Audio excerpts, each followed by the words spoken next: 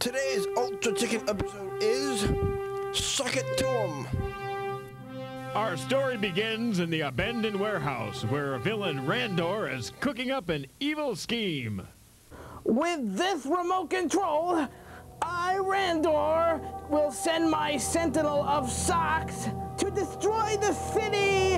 Ha ha ha! And no one, not even Ultra Chicken, will have anything to do to stop me! Ah ha ha ha!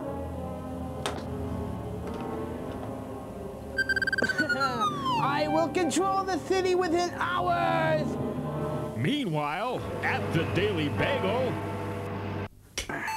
Hey, Mary. Uh, send in Clark Kent, would ya? Hi, Clark. Uh, Chief, How you doing? pretty good. you don't look so good, Chief. Oh, uh, um, never mind. Uh, we have a story for you, Clark. Uh, Hey. yeah, this is a good one. No one else wants to cover this one. Uh, What is it? well, it seems that everyone's socks has turned against them. What? Yeah, it's very strange. Uh, I suspect, uh, Randor. Well, I'll get right to it. Check it out. Let us know. Keep us informed, Clark. I must change into Ultra Chicken.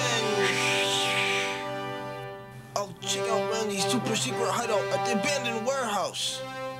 They'll never think to look here at the abandoned warehouse.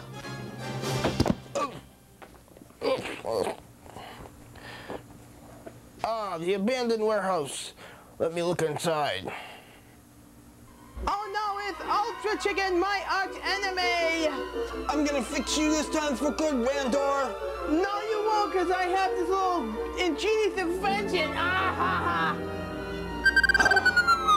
now my sentinels will wreak havoc on you, Ultra Chicken. Uh-oh. Oh no, must think fast.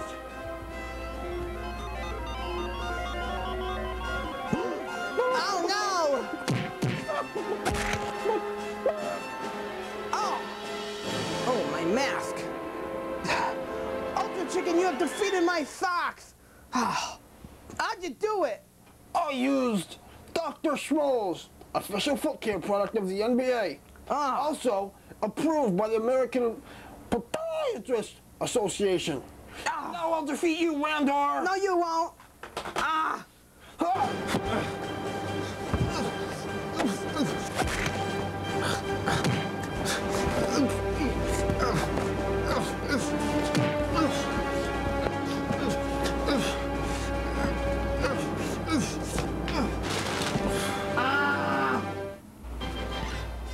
Chicken is thwarted the forces of evil again. I'm off.